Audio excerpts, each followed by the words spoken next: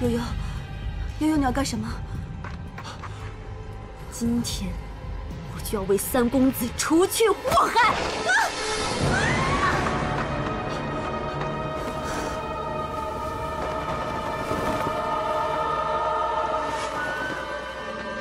母亲，今日犯下死罪，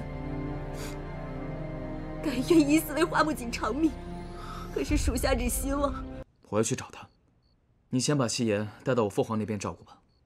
太子放心，属下一定把公主安全送回国。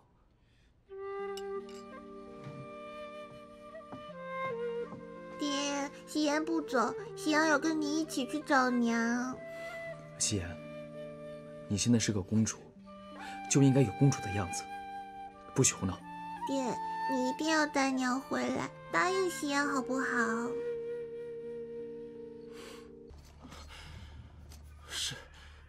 是你，是你告诉潘正月飞白不在营中，所以他们趁虚而入，将袁德军打败。光前啊，光前，我就算再讨厌飞白，他毕竟也是我的弟弟。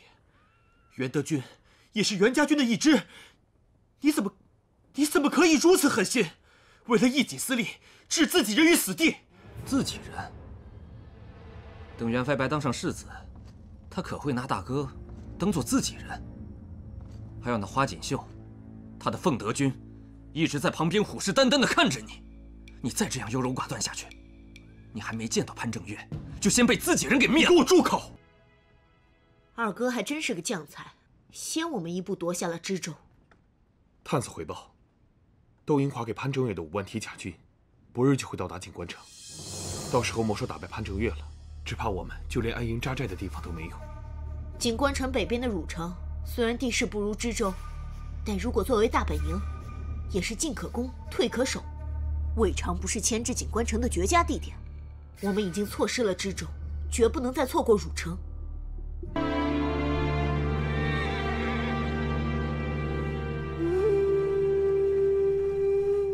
三爷，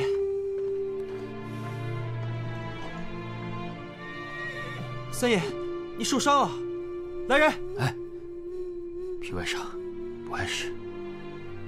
三爷，你老是不碍事，都已经成这样了，怎会不碍事啊？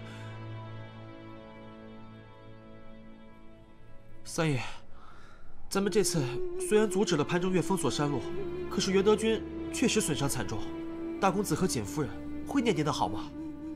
您做出了这么多牺牲，真的值得吗？素慧，你不必为我不平。只要能保住袁家的大部分兵力，我就问心无愧了。